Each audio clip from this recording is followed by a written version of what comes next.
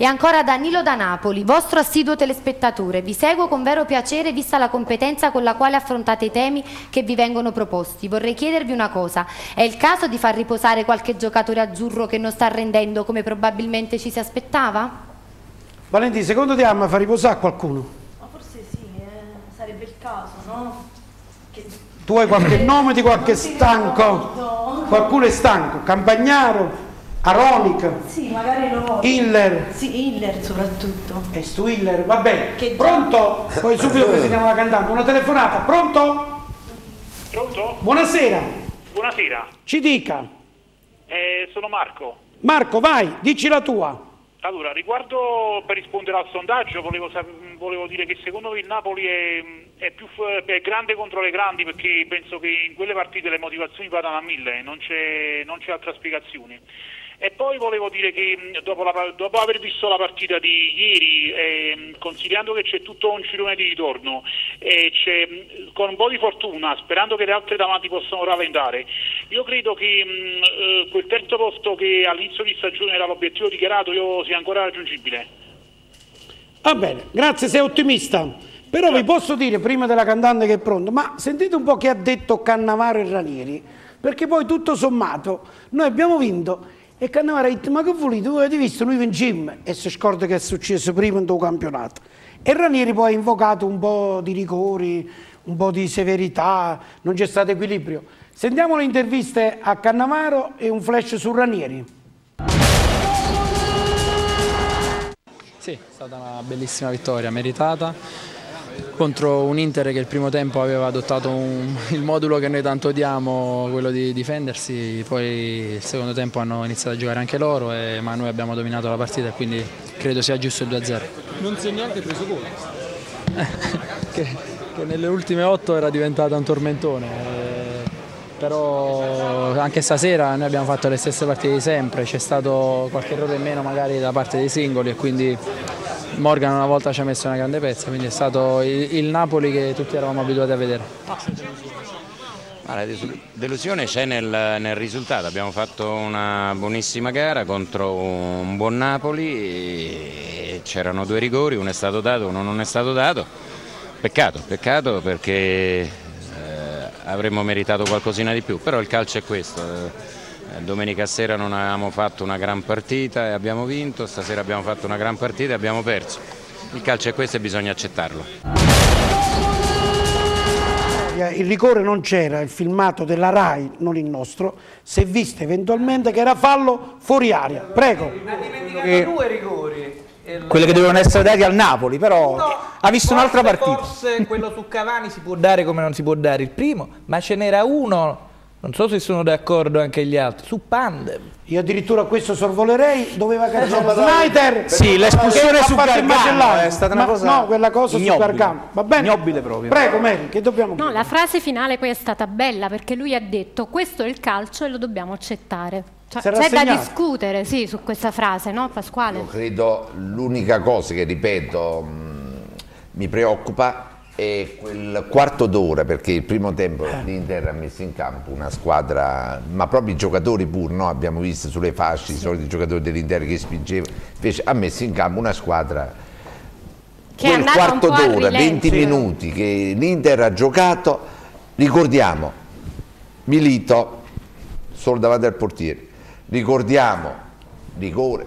più o meno e ricordiamo quelle tre azioni che De Santis ha superato per Possiamo fare un applauso a De Santis che Ecco, gli era bravo. fatto delle cose bellissime. Noi di Popoli Azzurri abbiamo proposto per una giornata De Santis capitano, perché è sempre Bravo, attaccato condivisimo, capitano. bravissimo Su capitano De Santis. no? quindi c'è bisogno di recuperare soprattutto quella linea difensiva ma soprattutto affrontare quella grande assenza di pazienza a centrocampo che Eh. se non c'è Gargano che copre corriamo dietro i- gli avversari Non sappiamo che fare. io Facciamo una ricordo il. Napoli Facciamo- nell'anno precedente che frontalmente li affrontava gli avversari merito. Quando si dietro. fanno gli applausi al portiere è cattivo segno. Eh, Ah sì, eh, ma va bene. Però si regolare. andavano quei gol dentro, era un segno ancora più cattivo. Io vi interrompo un attimo perché è il momento della nostra ospite musicale. Ha studiato canto fin dall'età di 10 anni con il maestro Gianfranco Caliendo. Ha avuto varie esperienze televisive, tra cui Festa Italiana su Rai 1 con Caterina Balivo e il suo motto è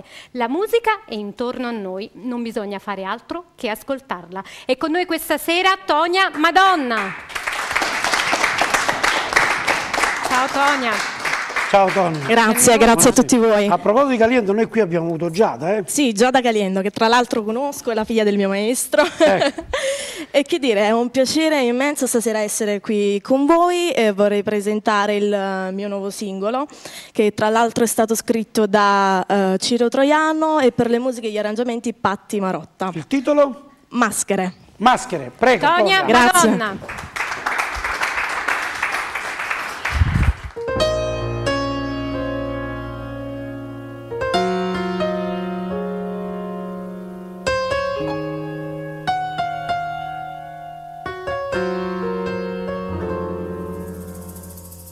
Sento dentro me tutto il peso di una vita vuota ormai. Gli occhi tuoi non mentono come quei discorsi futili che fai. Penso a te, sento preda tu e rivoglio la tua bocca sulla mia per quell'attimo che sa di eternità. Tornerai e ti sorriderò come se ignorassi che sei stato fra le braccia sue. Penso a noi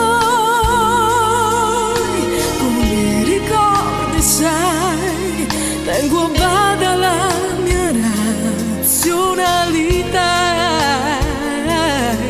Questa guerra tra la mente e l'anima.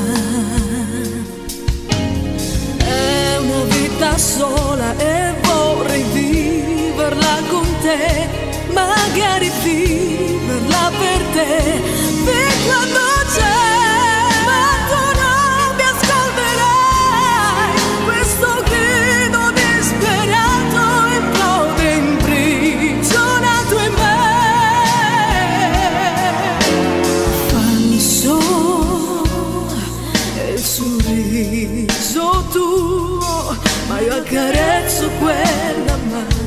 maschera che hai. Già lo so, è la verità, è quell'inutile pretesto che da tempo stai cercando per correre e per scioglierti da me. Ma io ti sento e non voglio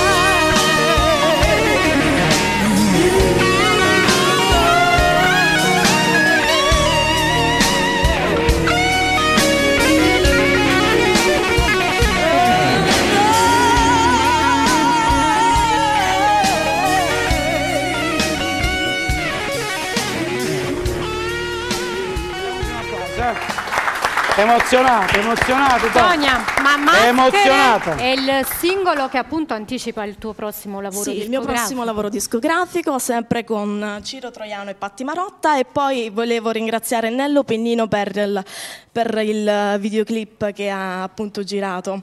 Tra l'altro Nello Pennino è proprio il regista di Gigi D'Alessio. Ci tengo Bene, a ringraziarlo. Facciamoci un applauso, va bene, grazie a te.